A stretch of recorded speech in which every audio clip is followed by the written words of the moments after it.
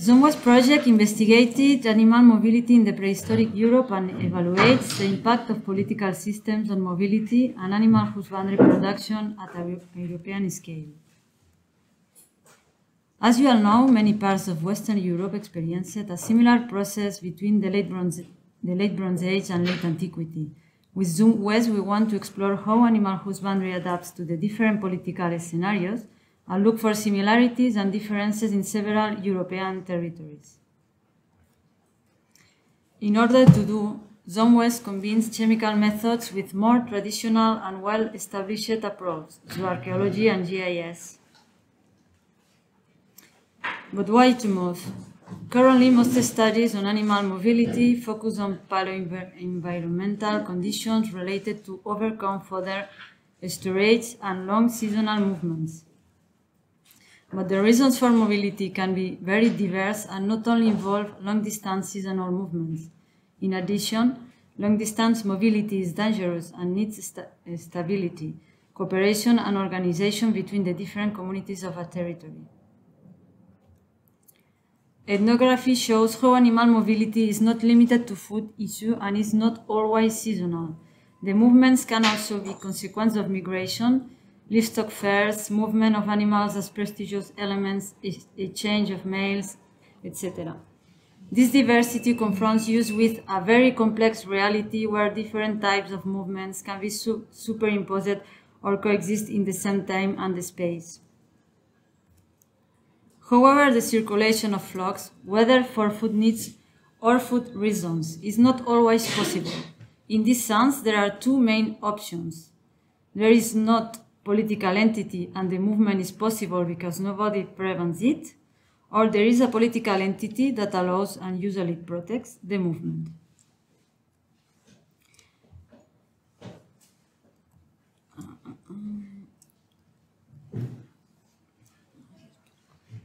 Awesome.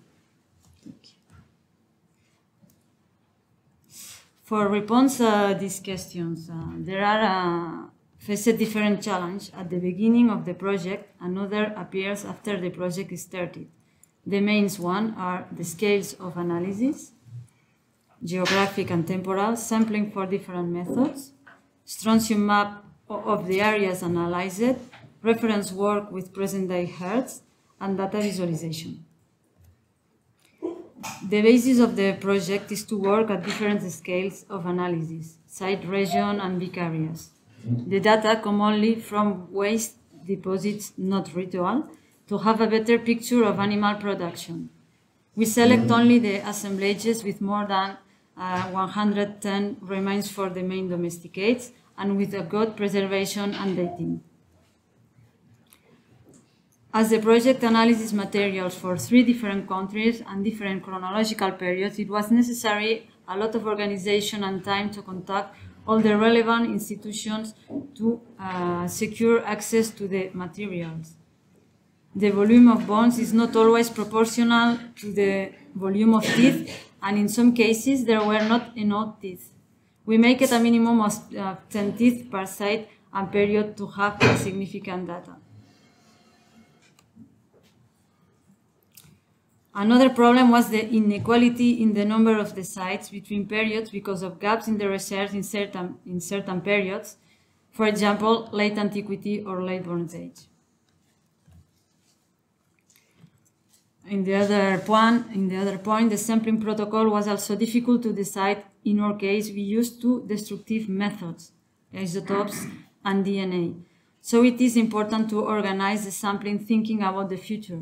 We established a protocol for collecting some data first, for example, GMM and dental microwear, and we protected certain areas to enable future analysis like cementochronology or dental calculus. The other point is the reference work with the present-day vegetation because in most areas there is not a strontium map available. For this reason, one of the important challenges on the project was to establish the baseline of comparison for archaeological specimens. So far, we collected 47 vegetable samples in present day in Catalonia.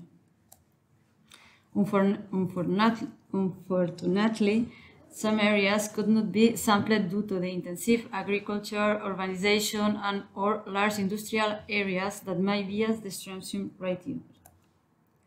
For these uh, heavily altered areas, we need to re rely on archaeological dentine samples. In order to establish a reference with flocks of no movement, we are working with an organic herds that graze in an extensive regime in the Pyrenees. Herds with less than 200 animals have limited mobility, transterminance, and bigger herds do seasonal movements over middle distance.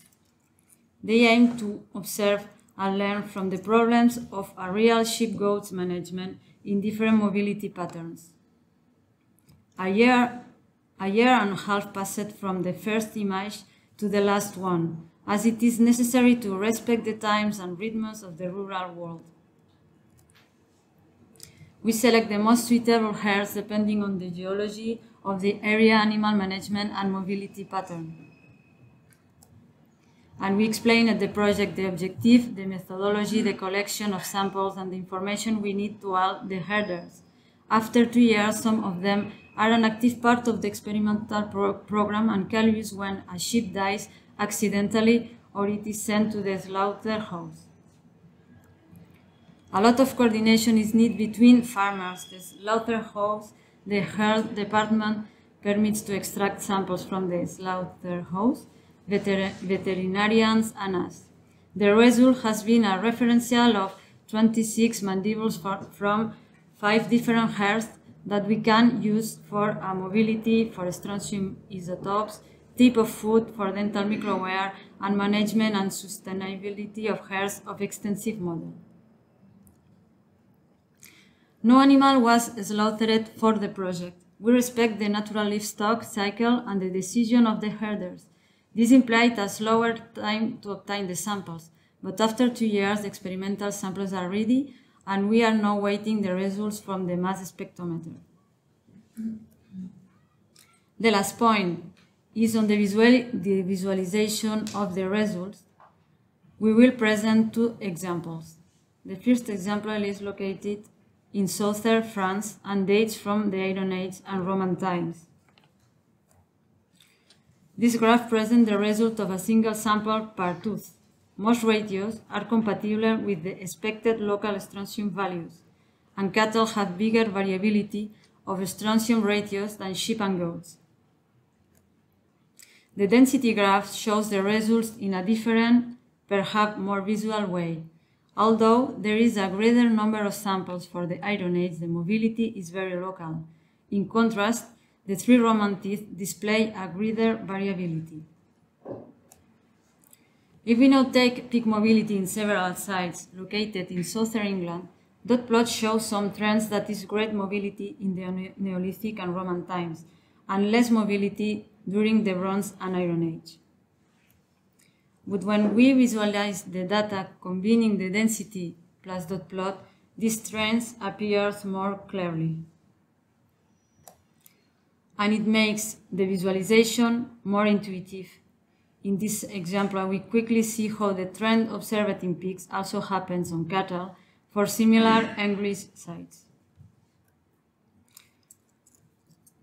Work with data and lessons we learned that the two samples presented above demonstrate that one sample per tooth allows the assessment of catchment area of a site in ZooMWest, we are taking three samples for strontium and five for oxygen because uh, we, we look from each tooth to see if seasonal.